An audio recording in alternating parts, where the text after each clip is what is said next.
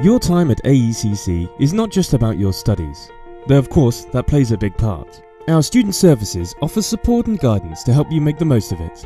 From library learning services to practical support and guidance on everything from writing good essays to well-being and counselling. It's a tight-knit, supportive learning community, all set in a spectacular seaside location with no shortage of things to do and a life of its own. The campus itself is as beautiful as its setting. There is a vibrant social side to University College life, with an on-site gym, bars and restaurants, as well, of course, as some incredible facilities for learning.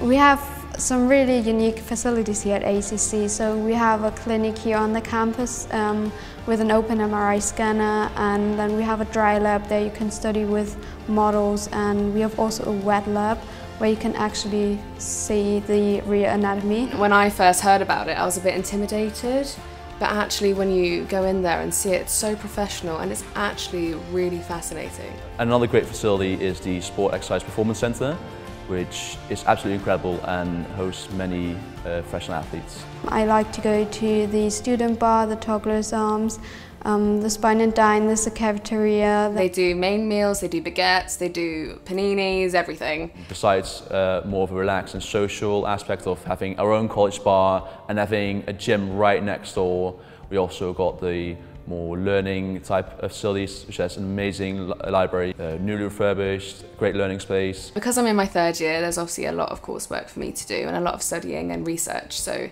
uh, I go to the library quite often. So here we have student services. And I personally, I use them quite a lot because we have a lot of essays that we have to do here. They help me with the structure and they help me go through it. I do it with every single essay just because they're there and it feels like I've got that extra bit of support.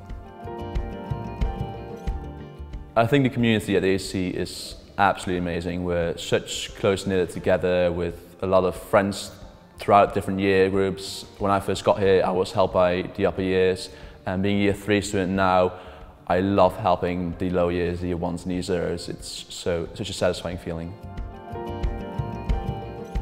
My first impression of Bournemouth was it was so big. I'm from a small village myself, so I got here and I was like, wow, you got all these amazing like shopping centres and amazing restaurants and clubs, uh, and I loved it. Like first moment I was here, I fell in love with not just the college but Bournemouth itself. The sunrise is so amazing.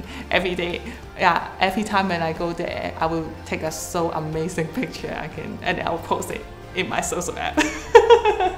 I love about AECC that it's really, really close to the sea. In Germany, I've never really been at the beach.